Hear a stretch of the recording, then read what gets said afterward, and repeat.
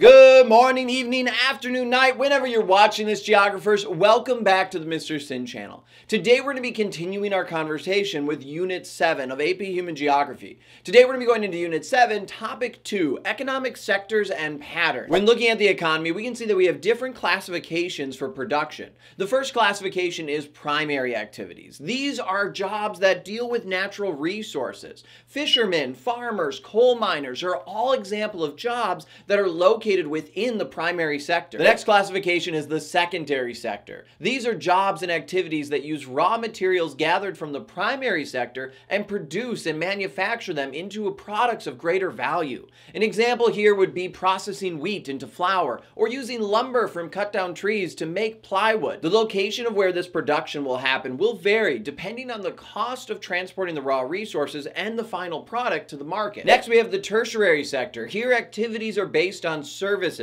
These are located in areas where there is a need for the service. Examples of activities in this sector would include lawyers, doctors, or people in sales. As countries develop and their economies start to advance with them, we see more and more people work in the tertiary sector. And eventually the tertiary sector can be broken up into two other categories as well. We can look at the quaternary sector and also the quinary sector. The quaternary sector is about acquiring, processing, and sharing information. Examples of activities in this sector include journalism, people in finance, insurance, real estate, or other industries that focus on information collecting and processing. The quinary sector deals with activities and jobs that are involved in making decisions. Examples of activities and jobs in this sector would be executives, people in government roles, such as the president of the country or the CEO of a company. One thing to notice here is that the quaternary and the quinary sector are still services, so they're part of the tertiary sector. However, the quaternary and quinary are more specialized and focused.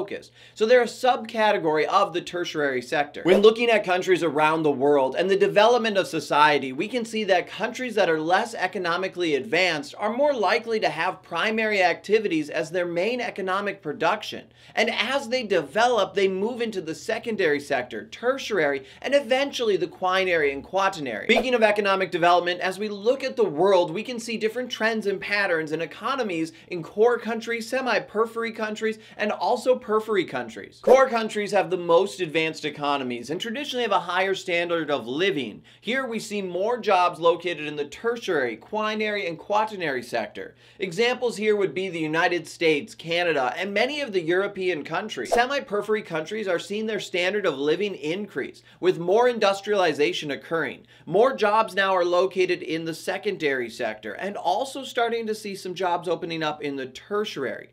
Examples of these countries would be Mexico, Brazil, China, and India, just to name a few. Lastly, we have periphery countries. Here the standard of living is low, with most of the production being exported to more developed countries. The majority of the jobs in these countries are located within the primary sector, with some starting to move into the secondary sector. Today we can see that many periphery countries are located in Africa and Asia. Another trend that we can see when looking at the world economy is that companies in core countries are offshoring production to developing countries. They're moving production into the semi-periphery and also the periphery countries. And the reason is because of labor costs. Labor is significantly less expensive in these developing countries. And so when companies move their production over to these countries, they're able to reduce their production costs and increase their profit margin. And we can see that due to advancements in transportation, it's now even easier and also cheaper to produce in other countries around the world, as now the cost of shipping has significantly come down, making it easier to transport raw resources resources and finished goods around the globe.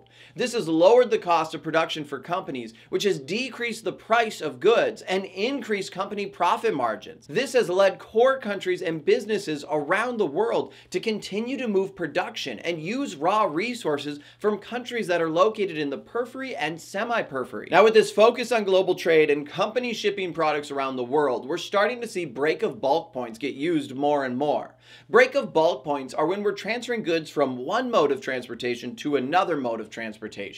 This happens when we are transporting things over long distances. An example of a break of bulk point would be when a cargo ship comes into a port. The cargo ship will be unloaded. Those containers will be taken off the ship and then loaded onto a different mode of transportation. Most of the time it'll be a train or a truck. And then that train or truck will take those goods and distribute them throughout the state. And since we're on the topic of production, we have to talk about Alfred Weber's least cost theory. Weber's least cost theory looks at resources, the production, and also the markets in which the final goods will be sold at. The goal of this is to be able to understand where a company should locate its production in order to minimize their costs. And in order to do this, a company needs to understand if their product is a bulk gaining good or a bulk reducing good. Bulk gaining goods will often see production located near the market in which they're going to be sold. And that's because as production happens, these goods become heavier. They're more difficult to transport. And so by locating your production near the market, companies are able to reduce their costs and will then increase their profit margins. On the other hand, we can see that bulk reducing goods will be more likely to locate near the raw resources. That's because as production happens here, the goods get lighter. They're easier to transport. So it makes more sense to do the production near the raw resources since that's where the transportation costs are. And if one of the resources was heavier or bulkier than the other, we would locate production closer to that resource. Another aspect that Weber looked at when trying to determine the location of production was the cost of labor and agglomeration. Agglomeration is when businesses cluster together to share services, to share customers or infrastructure to help reduce costs. This allows them to be more efficient, be able to produce more, and also maximize their profit margins. We can see that the least cost theory ends up creating a triangle, and inside this triangle would be the location of production.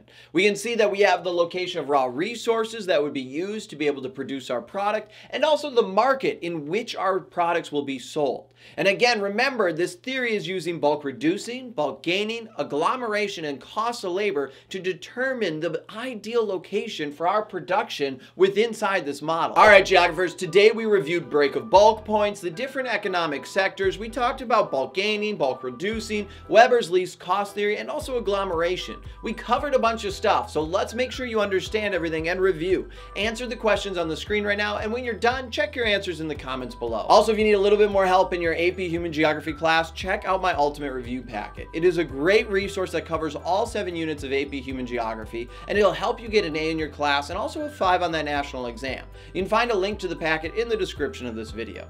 Thank you so much for watching, geographers. I'm Mr. Sinn, and as always, I'll see you next time online.